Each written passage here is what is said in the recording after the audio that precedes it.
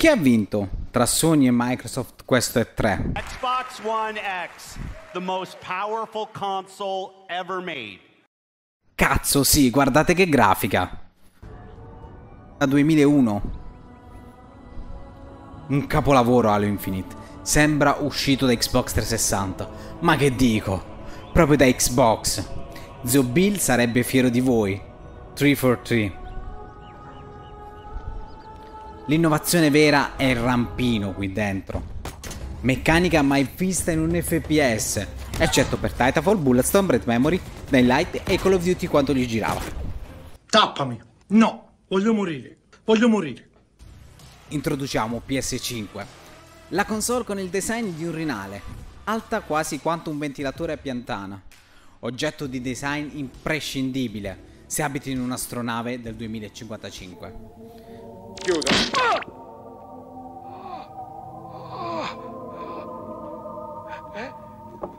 Bill Gates diceva: Grande console significa grandi giochi.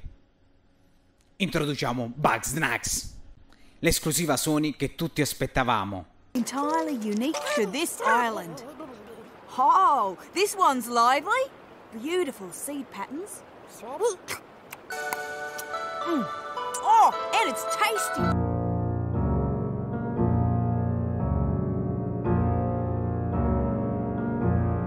In tutto questo delirio di console war che interessa solo al nostro caro Suka Mike, abbiamo finalmente una data di lancio per un titolo che fino a qualche anno fa sembrava un Vaporwave.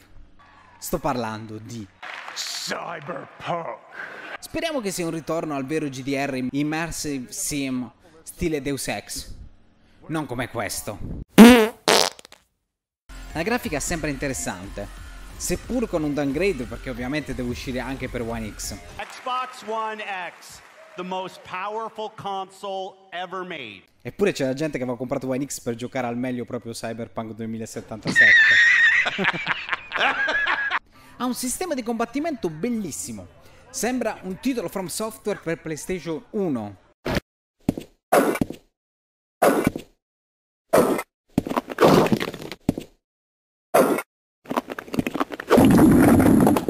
Per fortuna non è solo quello. Ha un'atmosfera cyberpunk pura, attenzione ai dettagli. Promette bene, dai, nonostante tutto nel complesso promette bene. Lo attendo per davvero, ragazzi, non sto scherzando. È forse il titolo più importante di questo E3 2020. Zitto e beccati i soldi. Ora parliamo di Ubisoft. Come non detto, scusate, so bene che nessuno ha foto di un'azienda sessista, misogena, omofoba che maltratta i propri dipendenti. Scusate solo se ho accennato il nome Ubisoft. Bethesda.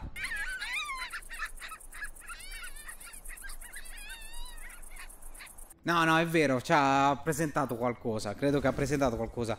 Credo che abbia presentato Deathloop, un titolo in esclusiva temporale PS5, che ha una grafica e un sistema di gioco bello quanto Dishonored nel 2011. Scherzo, è totalmente diverso da Dishonored. Cazzo, ci sono le pistole. No! Voglio morire! Voglio morire! In tutto questo delirio di depressione e scontentezza per questo E3 abbiamo i gatti cyberpunk.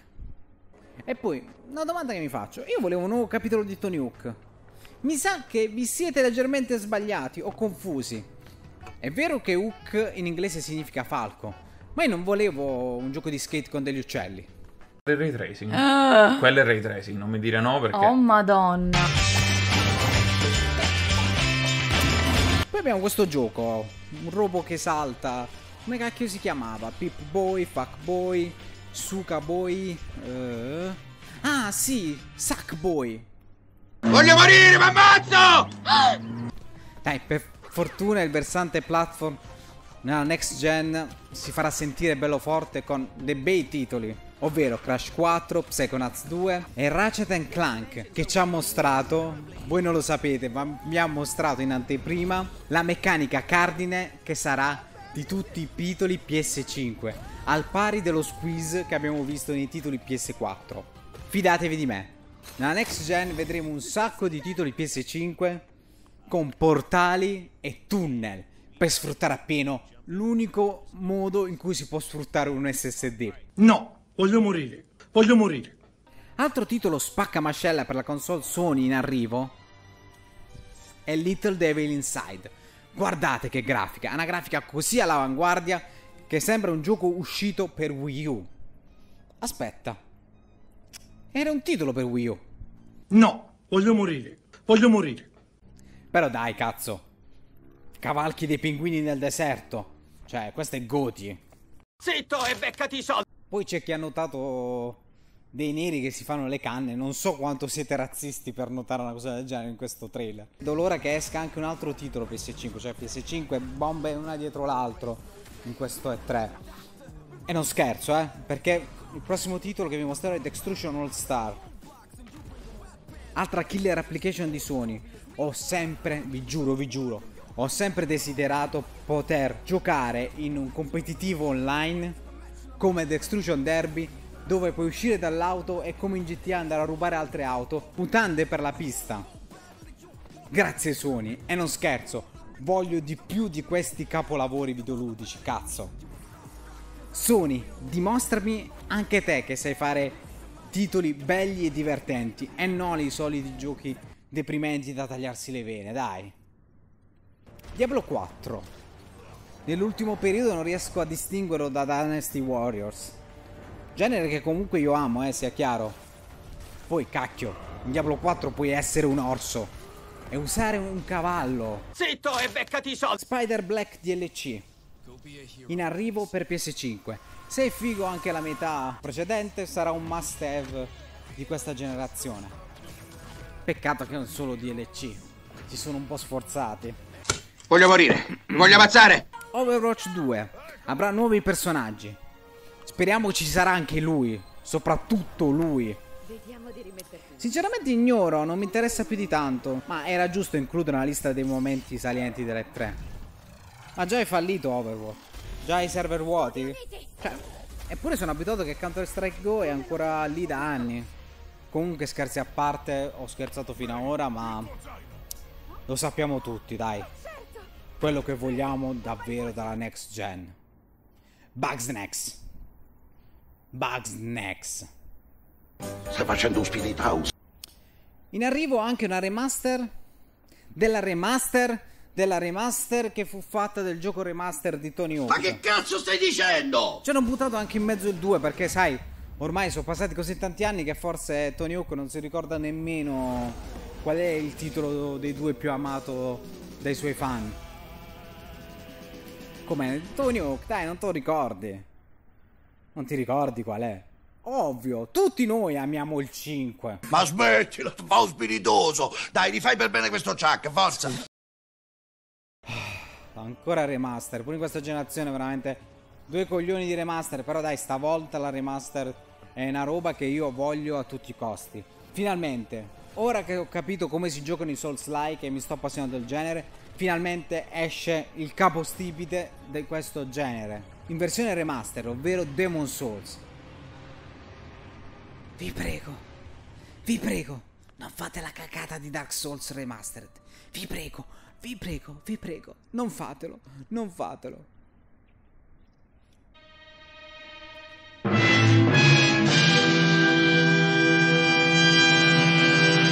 Parliamo seriamente, abbiamo di nuovo due conferenze che viaggiano su due canali separati.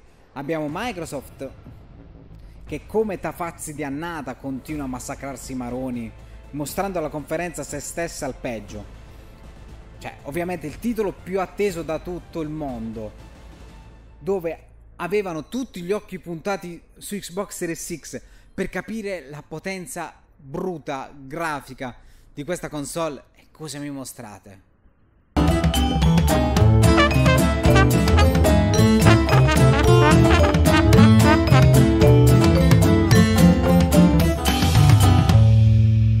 Da pazzi passa la vita a spararsi delle cannonate sulle vedete che lo butta via Invece d'altro canto abbiamo una Sony molto furba che ci ha mostrato Ratchet Clank solo nelle parti che doveva mostrarci, dove c'è l'effetto wow. Omettendo le parti che ovviamente un po' più... eh. D'altro canto anche Sony non scherza, eh. C'è da dire. In queste tre ci ha fracassato veramente i maroni con sto cazzo di Bugs. Ficcatela su per il culo quella cazzo di fragolina. Ce l'hai con me, ce l'hai con me, ce l'hai con me, sì, ce l'hai con me, ce l'hai con me. Sì che ce l'ho con te. Levati dai coglioni, Bugsnax.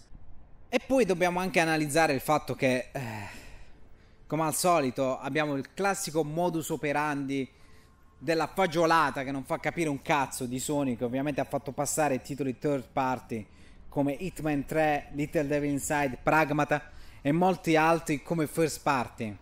Cioè li ha fatti passare che possono essere giocati solo, solo su PS5. Ragazzi, fidatevi, questi titoli arriveranno anche su PC e molto probabilmente anche su Xbox Series X, non sono first party. Mentre dall'altra parte ovviamente c'è una Microsoft totalmente tafaziana.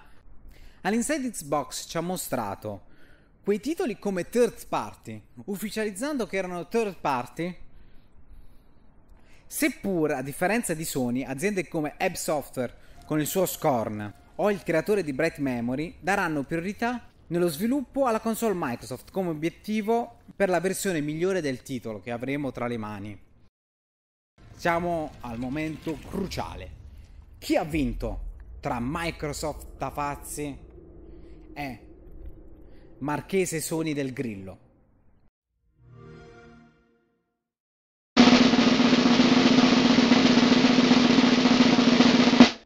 Dai, lo sappiamo tutti. Ma Nintendo, cazzo! Switch! Con i suoi indie in esclusiva. E se non sono in esclusiva, puoi giocarli al meglio solo su Switch! Oh, ma avremo anche Legend of Zelda Breath of the Wild 2, Switch Pro, Donkey Kong Himalaya Hit, Splatoon 2077, Mario Kart 9, Mario Odyssey 2, Luigi Mansion 4, Pikmin direttamente dalla GameCube versione deluxe e Metroid Prime 4 rimandato di nuovo. Voglio morire, mi voglio ammazzare, voglio morire, mi ammazzo!